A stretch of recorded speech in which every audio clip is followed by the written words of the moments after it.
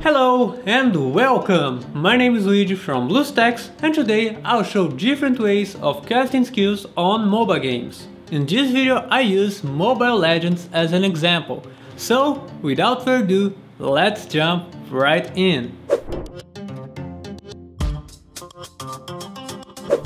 The first cast mode we're gonna talk about is the manual mode. In this mode, you can press the key to activate the skill, then use the mouse to aim and then press the left click to actually cast the skill on the chosen area. This mode is better when you're fighting a single target or when you want to make the most out of each skill. On the other hand, this takes practice, precision and agility and might be very difficult to pull out in fast-paced engagements. Next, the quick cast mode will cast the skill immediately on releasing the corresponding skill key at the place or in the direction of wherever your mouse cursor is. This is great for people that have immense control over their mouse cursor and wanted better speed in casting skills without sacrificing mobility. Finally, with the autocast mode, you press the key to activate and after that, the skill should be cast as soon as the user releases the key at the closest enemy. This is great to first engage a target and create pressure upon the enemy team,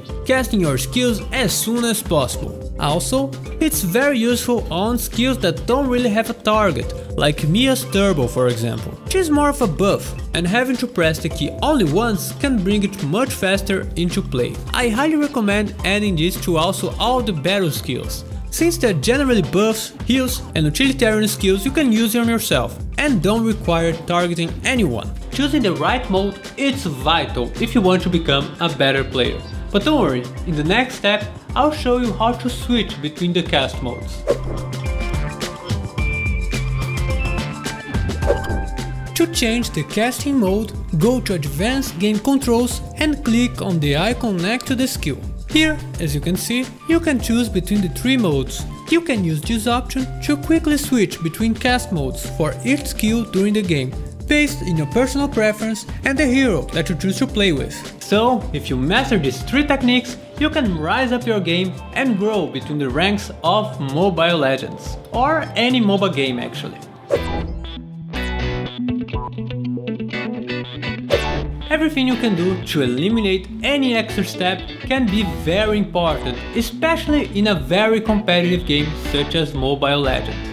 So, if you want to get an edge in this awesome MOBA, make sure to play it on BlueStacks. Well, but that's it for now.